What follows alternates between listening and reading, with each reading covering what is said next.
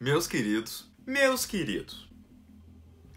Esse episódio de Summertime foi uma loucura. Foi uma loucura e eu quero fazer uma pergunta pra vocês. Eu já quero que vocês me respondam aí embaixo antes de eu começar a falar no vídeo. Vocês realmente entenderam alguma coisa desse episódio?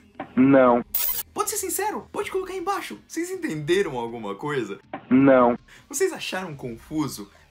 Me comenta aí embaixo. Vocês não acharam que foi muito brisa? Mas mesmo assim, pelo menos num contexto geral, deu pra entender tudinho.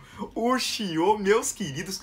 Mano, o Shio, Shinpei, melhor casal, eu te amo, Shio. Meu Deus, o cara confessou. O cara confessou que gostava da Ushio. Essa é uma das partes importantes. Eles entraram ali num mundo paralelo, muito louco, que se chama Tokoyo. Teve um monte de coisa, um monte de explicação. Raine do bem, Raine do mal, cópia da Raine de não sei lá onde. E se você quiser entender tudo isso, hum, eu vou tentar explicar. Eu não vou, eu não vou prometer nada não, viu? Que nojo. Mas bora pra mais esse episódio de Summertime Render e agora só faltam dois. Me avisaram que são 25 e não 24 episódios, então só faltam mais dois pra esse anime incrível terminar. Vamos, mano, esse final vai ser incrível. Ah, vai ser incrível. Bora comentar sobre mais esse episódio. E aí galera do canal do Mano Joe, como vocês estão? Eu espero que todos estejam muito bem e hoje pra mais um episódio de Summertime Render, episódio número 23, meus queridos. Que episódio? Meu Deus. Foi um episódio maravilhoso, que animação, que trilha sonora, malandro. Me lembrei de ReZero na hora. Eu fiquei falando, meu Deus. Tá incrível isso aqui, tá, tá muito bom isso aqui. Elogios à parte, muito obrigado pra todo mundo que tá deixando aquele like aí, ó, ó, ó, ó, quem tá ajudando aí o canal, que tá se inscrevendo, que tá compartilhando, que tá comentando. Muito obrigado. Eu espero o comentário de vocês de verdade. Não se acanhem. Comenta aí, vocês não entenderam ou entenderam. Se não entenderam, não tem problema, gente. No primeiro momento também não entendi. Aí depois eu fui revendo umas partezinhas pra poder entender alguma coisinha ou outra ali. Mas a legenda também, ó, tava uma. Ah, que nojo. De toda forma, já vamos direto pro episódio, sem mais enrolação, né? Cala a boca, Joe.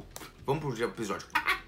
E meus queridos, o episódio vai começar daquele jeito impressionante. O Shid acabou voltando, a Heine parece ter se tornado ali um bebezinho bem pequeno, uma sombra já sem força, porque não tem de onde se alimentar, já gastou todas as suas energias, e o Shid só precisa dela para continuar ativando a sua armadura e continuar vivendo e assim enfrentar o Ushio e o Shinpei. E ele começa a mencionar que o olho da Ushio é tipo um ovo, né? É um ovo que está prestes a nascer uma galinha ali daquele ovo. Porque com esse olho despertado na mão de certa pessoa, o tempo e o espaço podem ser controlados por essa tal pessoa. Então, para o Shid conseguir seu objetivo, ele precisa apenas pegar esse olho da Ushio. Mas para pegar esse olho da Ushio e o do Shinpei, ele vai levar eles para um outro mundo. Esse mundo que eu imagino é basicamente a própria Hiruko. Não é à toa que ele corta a Hiruko no meio, a bebezinha, pra entrar ali dentro e depois chamar o Shinpei juntamente com a Ushio para que eles entrem lá. E aqui, gente, o que tá acontecendo é mais é mais simples do que imaginamos.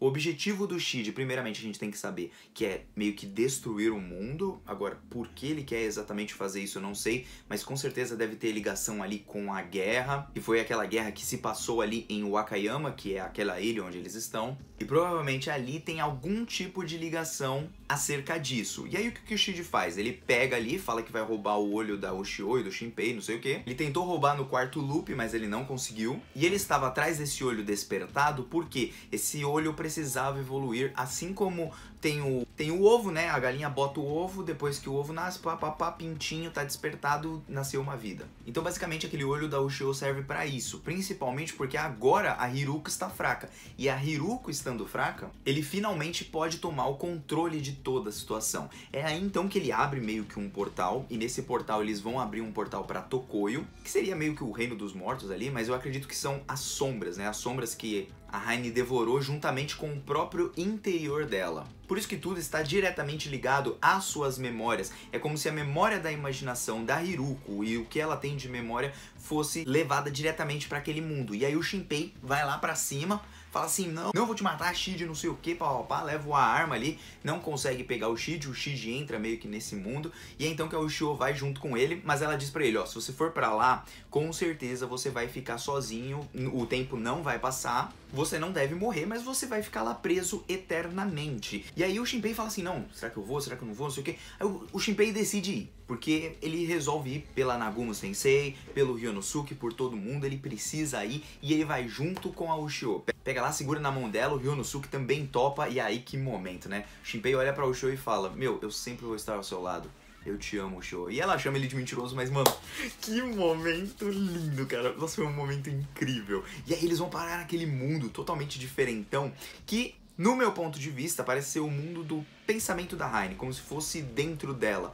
E vocês perceberam outra coisa? Nesse mundo eles acessam muito mais facilmente as sombras e o seu corpo humano real. Lembrando que o poder dessas sombras, o poder desse olho, só pode ser ativado completamente dentro do mundo mortal e não dentro daquele mundo dos sonhos. Tanto até que nesse mundo Tokoyo, o Shinpei pode trocar de lugar com o Ryonosuke. O Ryonosuke pode assumir a forma dele e ao mesmo tempo o Shinpei fica dentro dele como se o Shinpei mesmo fosse a própria sombra. Eles trocam meio que de lugar, embora o Shinpei continue sendo um ser vivo, enquanto o Ryonosuke continua sendo uma sombra. Ele acaba acordando, ele não encontra o Shio, a arma tá ali perto dele sempre, então provavelmente ela está próxima, pelo menos a 50 metros, alguma distância mais próxima deles. Eles tentam se localizar ali onde eles estão. A gente vê o Shinpei fazendo um pouquinho de amizade com o Ryonosuke. Eu achei isso bem legal porque o Ryonosuke, ele acho que ele sentia um pouquinho de ciúmes ou inveja da Nagumo Sensei ter feito amizade com outras pessoas nesse tempo em que eles passaram ali caçando as sombras. Então acho que ele queria ter esse convívio também com outras pessoas.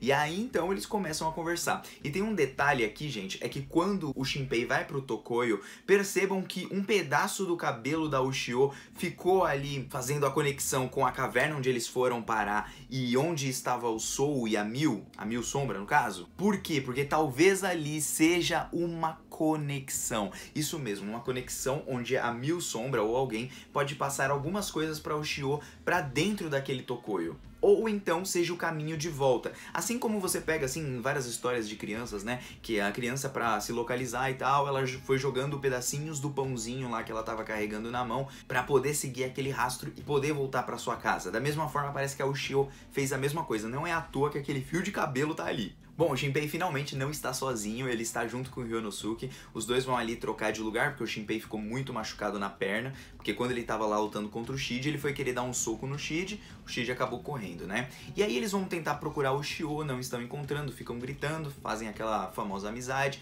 e aí eles acabam encontrando aquela bolinha que a Raine ficava brincando. E aí eles vão seguindo essa bolinha, seguindo essa bolinha, e ali aquela terra onde eles estão é o Akayama, só que o Akayama de uma forma diferente, uma forma antiga você vê pelas próprias construções. Por quê? Porque talvez seja a última memória afetiva que a Heine tenha, ou uma memória traumática talvez, que a Heine tenha na sua cabeça. Pelo que ela passou. Por quê? Porque mesmo sendo uma sombra, ela acabou sofrendo com aquela guerra. Tanto até que ela tem essas memórias e ela não gosta de se lembrar dessas memórias. Com aviões partindo para tal e jogando bombas e tudo, destruindo todas as coisas ali. Bom, é nesse momento que eles vão seguindo aquela bolinha. Aquela bolinha parece ter uma conexão com a Ushio. E essa bolinha leva eles até a Ushio, que tá com dor de cabeça, várias sombras estão ali, mas, essa, mas essas sombras não são hostis e não parece que o Shid consegue as controlar, mas talvez o Shid as consiga dominar para trazer elas para ele como se criasse mais lama dentro dele, entende? Mas isso é um talvez, porque ali é o reino dos mortos, então aquelas são as sombras que morreram pela boca da Heine, provavelmente. Afinal, ela é a mãe de todas as sombras. Então, leva ali a Ushio tá com uma super dor de cabeça. O Ryonosuke acaba lembrando da Nagumo Sensei, porque, caso a Nagumo Sensei se encontrasse com a Ushio e ela meio que estivesse se transformando em Raine, não sei o que, ela iria matá-la, obviamente, né? Mas a gente tá esquecendo da parte que a Nagumo Sensei também falou. Olha, Cuide da Heine, liberte a Heine, porque a Hiruko e a Heine precisam ser libertas. Uma é uma sombra e assim como um animal devora as coisas que ela tem que comer porque ela tem fome, e a Heine tem a parte da criança, né, da pessoa toda amável que fez amizade com a Rizuru no passado. E é então que o Shinpei encontra as duas e basicamente o que que acontece? A Ushio, ela é outra parte da Heine que se dividiu. Basicamente, Heine boazinha e Heine má. Embora essa Rainima ainda tenha um pouquinho das memórias ali de quando ela foi boazinha junto com a Rizuru, mas quando aquele olho saiu, praticamente toda a bondade saiu e foi direto para Ushio quando se encontrou ali como sombra nela. E tem uma coisa no começo do episódio que também é muito interessante, que é o Shid falando que agora ele vai fazer de alguma forma para Ushio não passar esse olho pro Shinpei. Por quê, gente? Lembra daquela teoria, gente, que eu tinha dito para vocês que a Ushio, ela conseguiu meio que chegar até o final e a única coisa que ela pôde fazer foi passar o olho pro Shinpei? Então ela já chegou até o final da luta contra o Shid, não conseguiu vencer, mas conseguiu passar o olho para ele, para que o Shinpei a ajudasse nesse processo. Ou seja, a Ushio já viajou no tempo e ela voltou no tempo através dessa sombra. Então ela já deve ter lutado alguma vez e por isso ela entregou o olho pro Shinpei quando ele tá vindo ali para a cidade. Por isso que eu acho que o Shid fala que ele vai tentar impedir dessa vez da Ushio passar esse olho pro Shinpei. Interessante, não acham? E bom, tá lá a Ushio junto com a Heine. Ela tá ali com bastante dor de cabeça, não sei o que, mas ela consegue se estabilizar, porque parece que ela tá quebrando por dentro. Muito por conta delas serem uma pessoa só, né? A Heine tá ali dentro, a Heine é a pessoa boazinha, a Hiruko é a deusa, a sombra originária, que seria a malvadona e tudo mais. E é aí então que a Ushio consegue se acalmar, o Ryonosuke não atira nela, eles começam a conversar.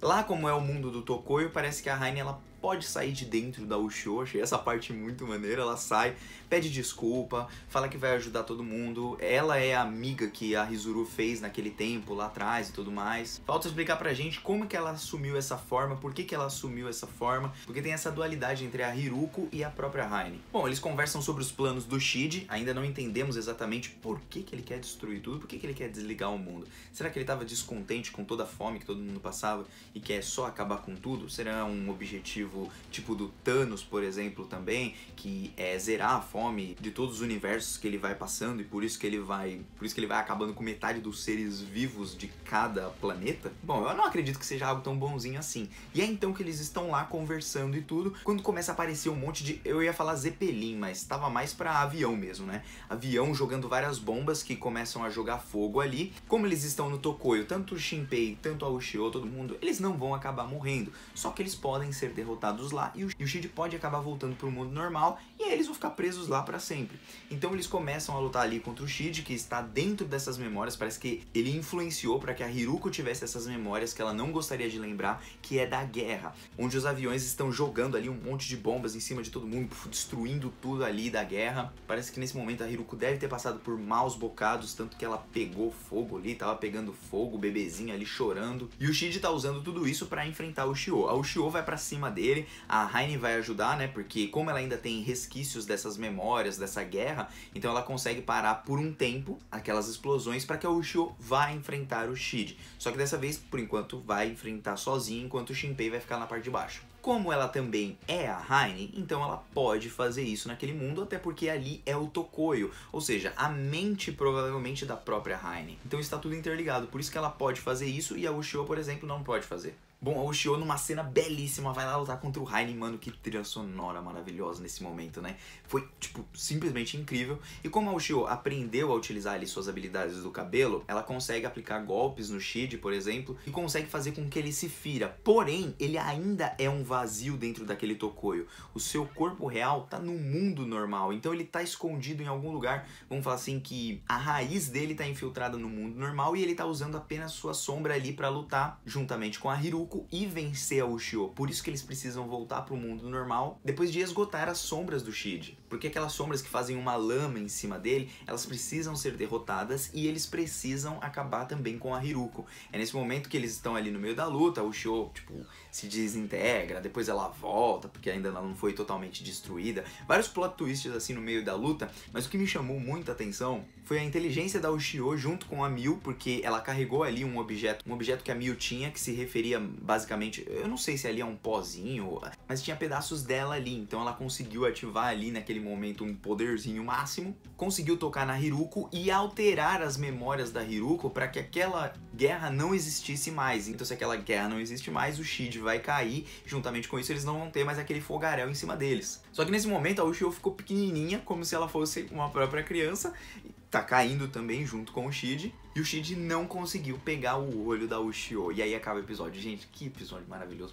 O que eu posso dizer é apenas que esse é o melhor anime de todos. É incrível demais, velho. É simplesmente um absurdo o quão bom ele é e o quanto as pessoas estão perdendo ele. Indiquem, gente, indiquem. Mas aí vamos lá, gente, vamos para as teorias. Primeira coisa, objetivo do Shid. Eu acredito que ele não tem um objetivo nobre, porém ele com o espaço-tempo, talvez ele queira retornar no tempo para viver num mundo, por exemplo, só dele. Viver, viver talvez sozinho. Não acredito que ele tenha um objetivo tão bonzinho, mas se ele tiver, provavelmente tem ligação com a guerra.